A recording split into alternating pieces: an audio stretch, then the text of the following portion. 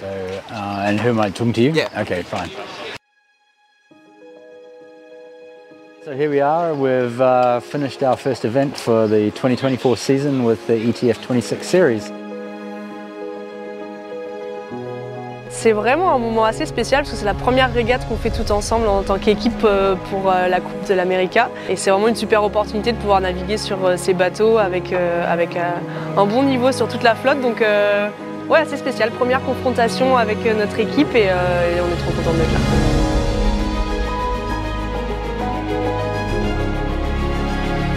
This boat feels super loose, uh, like it's uh, jumping all over the place and uh, feels like a small go-kart. Uh, it's really fun and uh, you know we obviously learning so much every day with all the crew work and everything and the better we become the more locked in we can become on the boat as well and yeah, it feels fun. et euh, dès qu'il y a de la mer, on voit qu'on est quand même sur des œufs.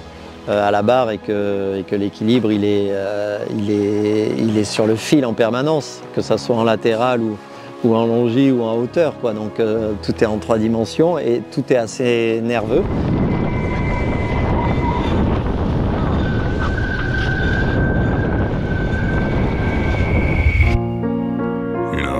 Sometimes life can really suck.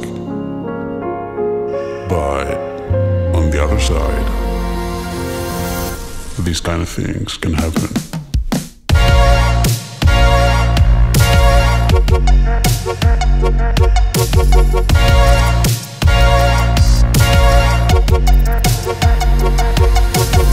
It has honestly been one of the best events in my entire four years with the class. The sailing area here is as close to perfection as you could possibly hope for. We've had amazing conditions. Uh, we've had um, mostly flat water, fantastic breezes. Um, the foiling ranges have, have been extraordinary, to be honest.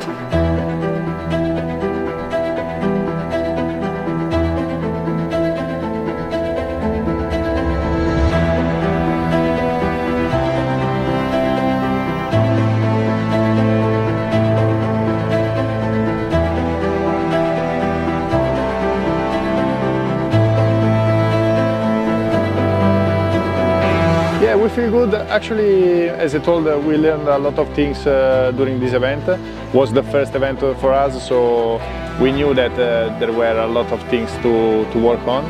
And uh, now for the next event, uh, we will have three days of training before, so we can work on, the, on our weakness and improve it.